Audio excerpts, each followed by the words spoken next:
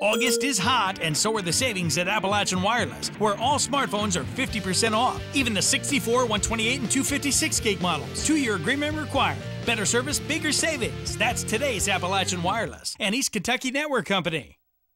More than 1,100 attendees spent the day at the East Kentucky Expo Center in Pikeville for the 2017 SOAR Summit. And these summits are ways for us to share ideas and bring together people. And, you know, you got probably 50 or so counties represented here.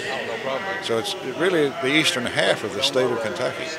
Congressman Hal Rogers, Governor Matt Bevin, and UK basketball coach John Calipari were just a few people who addressed the crowd, looking at both where the region is going and how far we have come since SOAR was first launched.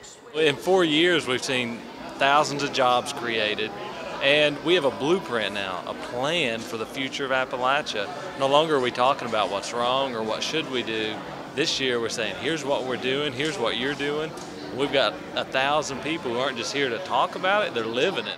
One of the biggest announcements made at today's SOAR Summit was an ARC grant for $200,000 to the Southeast Kentucky Economic Development Corporation to help 12 Eastern Kentucky companies become ISO certified. That alone will do a lot to help them become eligible for government contract work, but there was still more good news. Um, there was also, they opened up the next round of AML funding um, for $25 million that these communities can apply for to fund some of the programs that we're talking about here. Uh, so lots of exciting things today for sure. If you look at TechHire, if you look at the, uh, the Appalachian Wildlife Center that's being built down in Bell County, if you look at AppHarvest and this new partnership with Sunset, and they're looking at building greenhouses across Appalachia. But announcements aside, SOAR officials say many future economic development projects undoubtedly will happen because of a connection made here today.